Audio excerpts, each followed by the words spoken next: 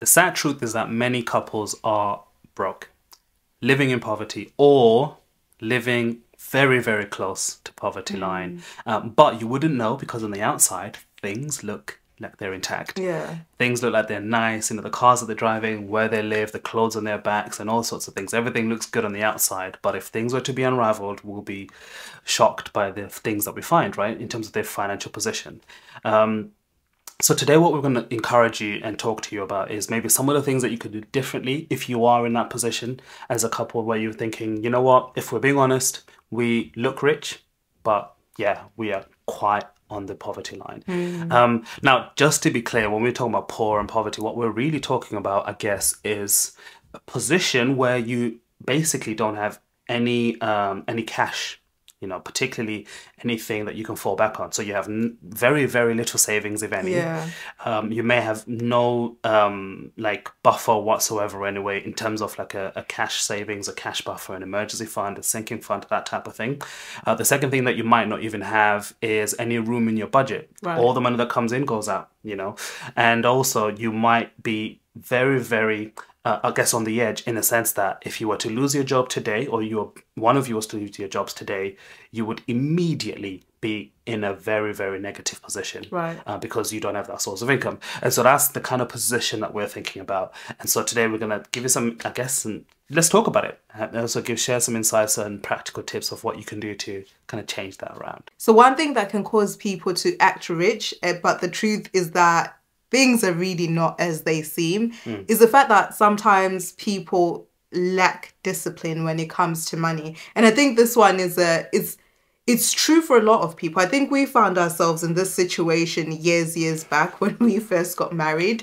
And the simple reality was like we lacked discipline with money. Like we got married and didn't really think, okay, let's sit down and come up with a plan or sort of idea of what we're going to do with our money and mm. how we're going to use our money, where we're going to allocate it which sort of pots is it going to go into and stuff. Mm. I remember we literally had one account and everything came out of that one account. And one of the things with doing that, like one of the cons with doing that is that you'll find that it's very, very difficult to yeah. then keep up with what's going out, where's it going, what's it for. Because you can imagine if all your bills come out of one account, your food money comes out of one account, your um your savings are also set in that same account, your spending money comes out of that account. How do you even keep up with mm. what's going on? Mm. So you you're lacking that discipline in sort of like putting things in place yeah. and making sure that everything is where it should be. And at times when we say lack of discipline, people might think, well,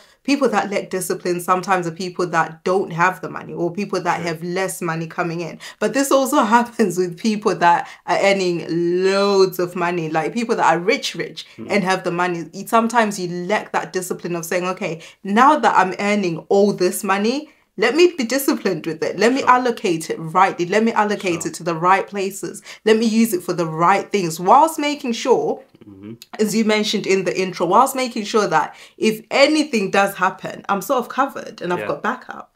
Yeah, and, and discipline I guess it's easy to say discipline means have a budget, but I think it's bigger than that. It's it's having a budget is a part of that, but yeah. you know, a budget works differently differently for different people. Yeah. For some of you, yes, you will need to count every single penny on a spreadsheet, hundred percent. Whereas for others, um, you might just be okay with kind of having an understanding of okay, we spend around about this much on this and yeah. about this much on that, but let's just make sure that we have the right accounts. You know, yeah. you mentioned an account earlier, um, and, and so uh, another thing to consider when it comes to discipline as well is actually your spending habits right yeah. you might be the kind of person who's just quick to swipe quick to spend um, and maybe you just need to give yourself, I guess, um, a, a, a, way to think about your spending before you spend it. Absolutely. Um, you know, so you don't fall into that trap of just continuously swiping and spending. Mm. And and so I think the lack of discipline is a big part that covers a lot, but hundred percent you will know which area it is that you do need discipline in. I think all of us have an idea. You know, yeah, let's be true. honest. All of us kind of have an inkling that okay, this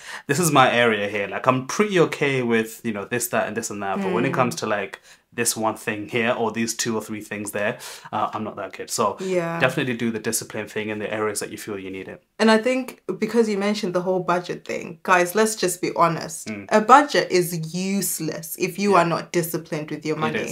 Because it's it, a budget is just a plan of what you plan to do with your money.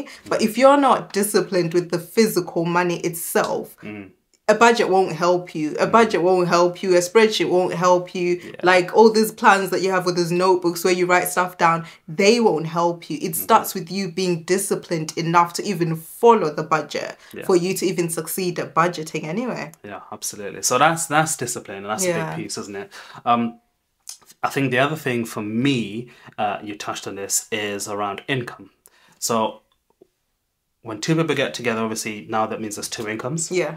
Um, and so sometimes, you know, some couples find themselves in a position where they feel like, you know, I've got a little bit more breathing room than I had before because I was covering the bills by myself, but now that there's two of us, maybe sharing the living costs, More money. there's a bit of money, right? More money, more money to play with. But more money to play with also means that you're starting to almost get higher on higher on supply. I know I don't like that phrase, but it's kind of that this idea where like yeah, the fact that you have a little bit more money, you're overestimating like what you can do, what you have, and and even maybe you got to pay a rise to work, Yeah. um, or you change careers and are you earning more money than you used to. I think the idea is we kind of feel like okay, now that I'm earning more money, I can breathe. But the reality is because of your lack of discipline and this kind of false narrative that you have about I've got more money than I used to, so I don't need to be disciplined. Well, you still find that actually you're still living like one paycheck away from being broke because you don't have that Yeah. cash savings and because you're not building that wealth in the background whether that's through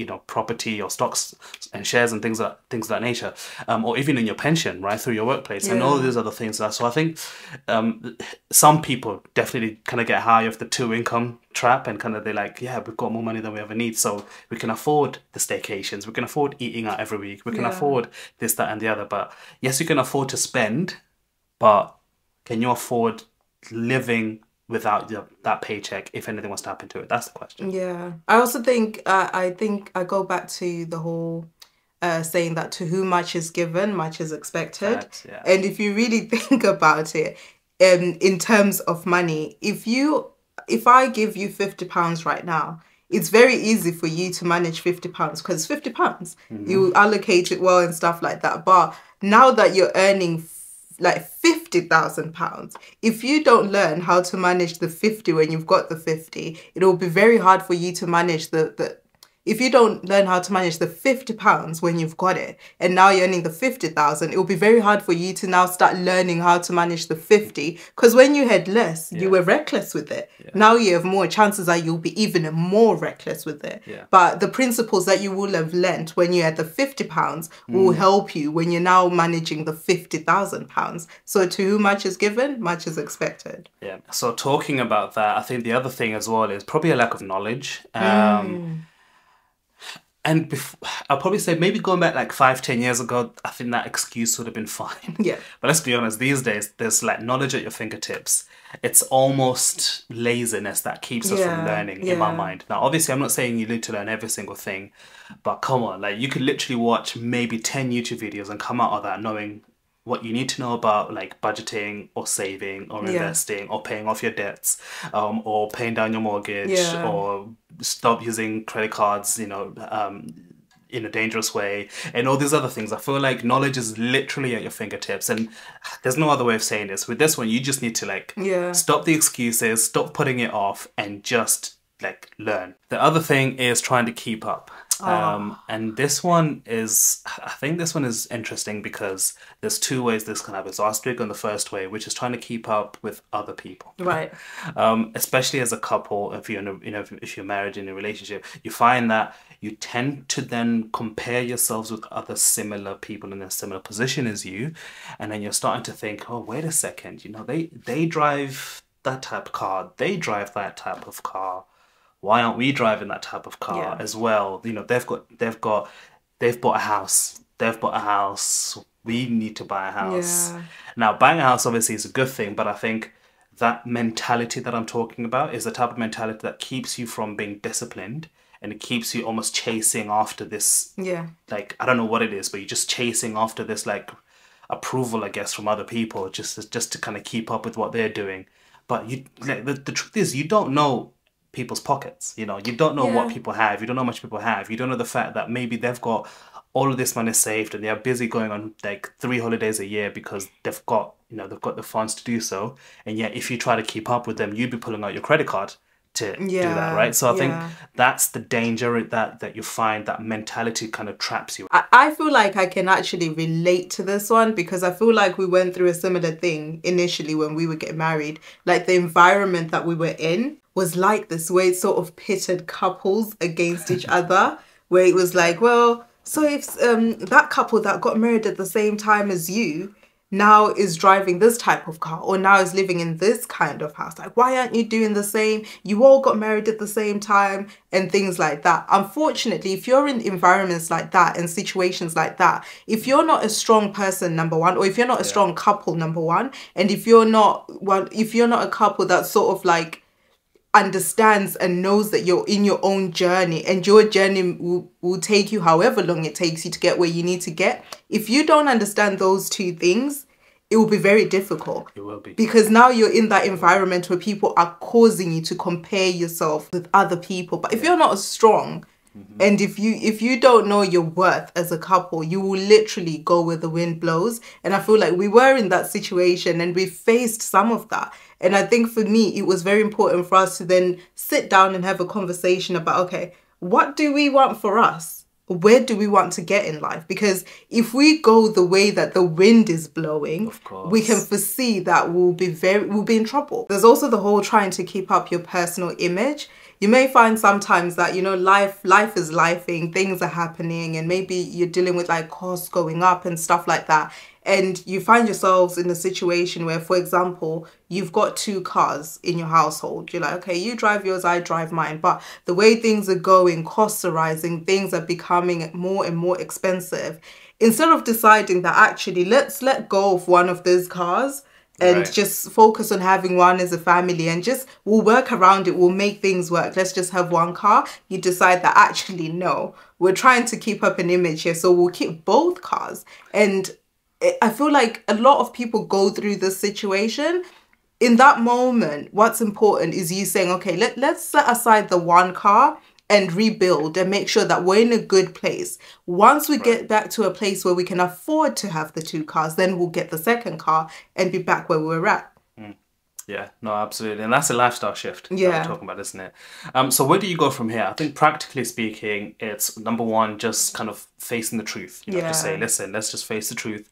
This is where we are. Yeah. When you are facing the truth, understand. Right now, we are talking about money. Now, money is very emotional and especially when there's now two of you having this discussion, yeah. things can get heated. So have this conversation in a light-hearted way. This is not about assigning blame as to whose fault it is that we're here.